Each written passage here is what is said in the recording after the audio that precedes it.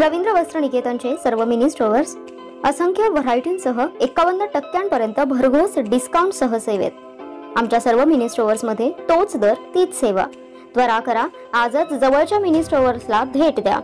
आमच्या शाखा आहेत आरवडे तुंग आरग ढालगाव पलूस कवटेमंकाळ कडेगाव आटपाडी खानापूर शिरोळ तासगाव सावळज सांगोला जत जयसिंगपूर सांगली संख विटा म्हैसाळ भिवघाट तसेच कर्नाटकातील शिरूर रायबाग येथे सेवेत. रवींद्र वस्त्र निकेतन सलगरे तालुका मिरज जिल्हा सांगली. रत्नागिरी राज्य महामार्ग बनला कोंडाळा. कोल्हापूरच्या प्रवेशद्वाराजवळच घाणीचं साम्राज्य.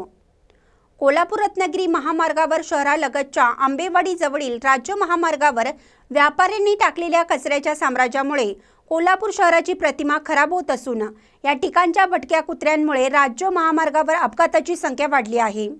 त्याचबरोबर स्वच्छ सुंदर कोल्हापूरला कोकण भागातून येणाऱ्या प्रवासी व राज्य व राज्याच्या बाहेरून येणाऱ्या पर्यटक आणि भाविकांच्या मनात वेगळाच संदेश जाताना दिसत आहे. याबाबत संबंधित खात्यांकडून योग्य उपाययोजना केल्या जातील काय असा प्रश्न उपस्थित केला जात आहे. कोल्हापूर ते रत्नागिरी या राज्यमार्गावर कोल्हापूर शहराच्या लगतच प्रवेशद्वारावर असणाऱ्या आंबेवाडीजवळ रस्त्यावर परिसरातील हॉटेल व इतर व्यावसायिक टाकत असलेल्या कचऱ्यामुळे अक्षरशः राज्य महामार्ग आहे की कचरा कोंडाळा आहे अशी परिस्थिती निर्माण झाली आहे. कोकण भागातून येणाऱ्या प्रवाशांसाठी कोल्हापूर रत्नागिरी हा राज्यमार्ग आहे. संपूर्ण कोल्हापूर शहर आणि शाहूवाडी पन्हाळा हे पर्यटन केंद्र आहे. कोल्हापुरात येणारा पर्यटक ज्योतिबा पन्हाळा गडांना भेट दिल्याशिवाय जात नाही. या मार्गावर असणाऱ्या ज्योतिबा देवस्थानाकडे संपूर्ण महाराष्ट्रासह कर्नाटक भागातील भाविक मोठ्या प्रमाणात येत असतात.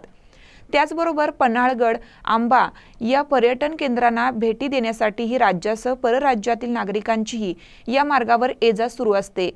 गेल्या दोन ते तीन वर्षापासून कोल्हापूरच्या शिवाजी पूलपासून आंबेवाडीपर्यंत अनेक हॉटेल्स बेकरी उत्पादकांची विक्री केंद्रे चायनीज सेंटर व अन्य व्यवसाय झपाट्याने वाढले आहेत.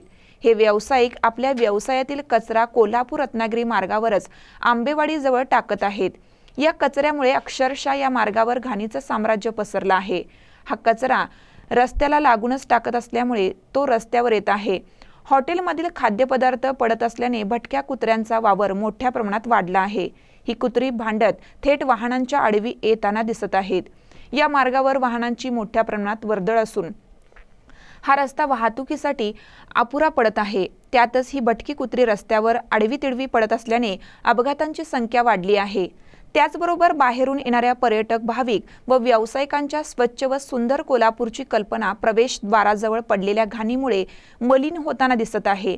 संबंधित विभाग योग्य ती कार्यवाही करून कोल्हापूरच्या मलिन होणाऱ्या प्रतिमेला रोखण्यात यशस्वी होणार काय? की हा कचरा वाढतच जाणार हे पाहावं लागेल. खास करून जिल्हाधिकाऱ्यांनी याकडे लक्ष देऊन संबंधित खात्याला योग्य सूचना द्याव्यात अशी मागणी प्रवासी स्थानिक नागरिक यांच्याकडून होताना दिसत आहे. महानकर न्यूजसाठी कोतोलीहून झाकीर हुसेन मुजावर.